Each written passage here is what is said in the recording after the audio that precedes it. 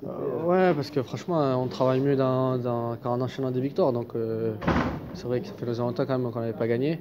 C'est la première extérieure, je pense que ça fait depuis. Euh, ouais, et aussi depuis septembre, fin septembre, qu'on n'avait pas gagné un match. De toute façon, donc ça faisait beaucoup. Donc, on, va, on va essayer d'enchaîner sur à domicile, sur le match à domicile, parce que parce qu'on en a besoin. Encore, on, est loin d'être d'être à la place où on veut aller. Hein.